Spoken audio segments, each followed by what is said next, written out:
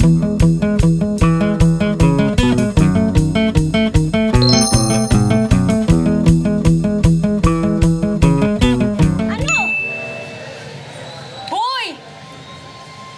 Miss.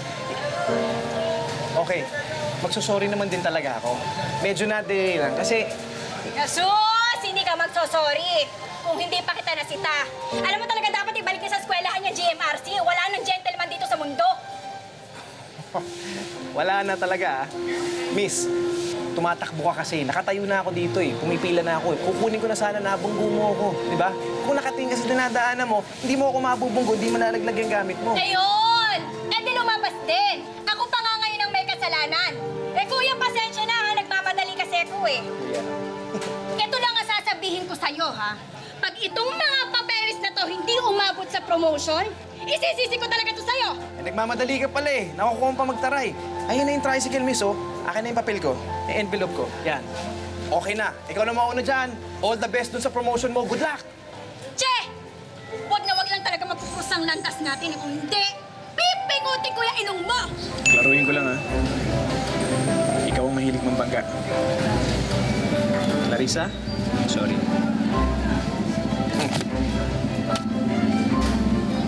Okay na. Nauna na ako. Hindi mo na pwedeng sabihin, ha? Na hindi ako nagsasalita. Klaro. Okay?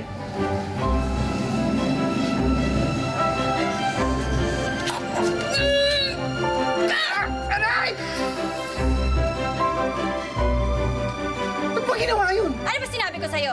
Di ba sa susunod na mag-cruise ang landas natin, pipingutin ko yung ilong mo?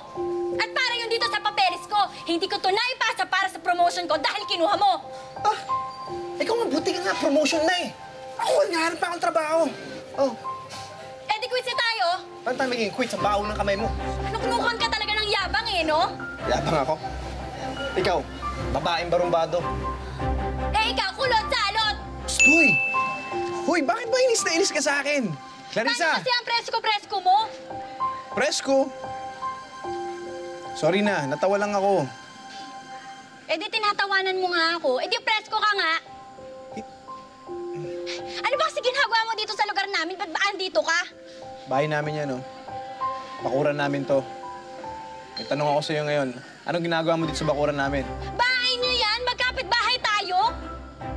Oo. Ano mo nga naman, no? Nagkabangga tayo, nagkita, nagkapalit ang biodata, tapos ngayon magkapit bahay pa? Oo, pag minamalas nga naman. Alam mo, ito na talaga yung huli nating pagkikita, ha? Kulot-salot ka, ha? Susunod, wag mo na akong papakialaman, okay? Aray, Diyan, diyan, diyan, diyan. Ipo mo muna sandali. Ano? dahan-dahan. Ikaw, da, ikaw nagmamadali. Ako sasabihin mo ng daan-daan. Ikaw kung hindi ka pa sabihin, hindi mo ako tutulungan, eh. Nak na. Hanip ka rin talaga eh, no? Hoy, paalala ko lang sa'yo, ha? Di ba sinabihan mo ako ng isang araw? Wag na wag akong lalapit sa'yo? Oh, nakalimutan mo na? Bira. Eh, talaga palang kulot yung takbo ng utak mo, eh. Dahan-dahan. Tandaan talaga. Ah, ouch. Ang asim, ha? Aray!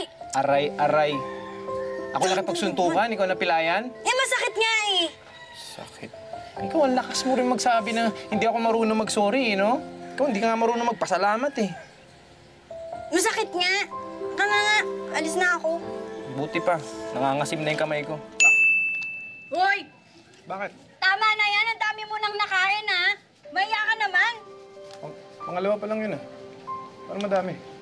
Hoy, alam mo kung hindi lang ako nahihiya, hindi ako mapipilitang manlibre. Bihira to. Ano, ako, ako na ngayon nahihiya. Dinala mo pa ako dito. Hoy, bakit ba ako napasok sa trabaho nito? Sa tulong ko. Oh, sa tulong mo. Tapos ngayon, ang dami mong kinakain. Eh, tumulong ka pa. Hanip din talaga yung pangangatwiro mo. No? Sige na. Ayoko na. Busog na ako. Miss Bayad. Sa akin, Lisa. Hindi maabot yung pangalawa. eh.